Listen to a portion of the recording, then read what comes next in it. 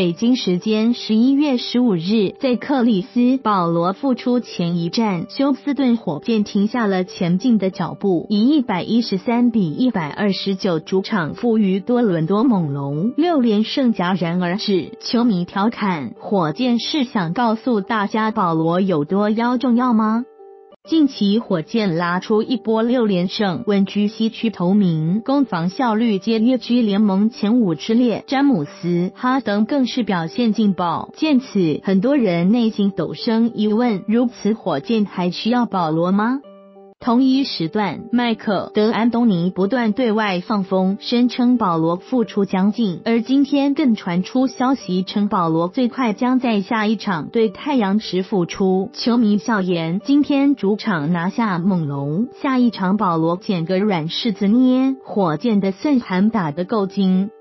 可惜火箭却用一场失利告诉大家，保罗不但是他们需要的，而且是必不可少的。本场猛龙的取胜支持是对火箭三分和快攻的成功遏制，尤其是快攻，猛龙本场失误十四次，快攻拿下十五分，从火箭十九次失误中取得二十五分，却让火箭快攻仅得四分，跑不起来又投不准，火箭突然变得不会打慢节奏阵地。战了，一旦落入阵地战，猛龙就防线外扩，踩着三分线还阻断传球路线，内线大个则按兵不动，只留下中距离广阔天地。偏火箭对此并不擅长，而保罗上赛季在距篮筐十英尺到三分线之间的区域出手占比四十七百分之一，命中率接近百分之五十，正是破解猛龙防守策略的良方。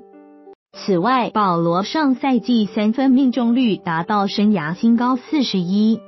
百分之一可以对猛龙形成牵制，使他们无法全力扑向詹姆斯、哈登，而他和哈登也可形成双箭头，频繁冲击猛龙内线。本场第三节后半段，火箭掀起追分狂潮，正是横下一条心突击内线，而猛龙的防线也的确在冲击之下略有松动。同时，保罗也可解决哈登离场后火箭衔阶段发挥欠佳的弊病。这两场证明。埃里克·戈登进步明显，但仍无法作为第二持球点使用。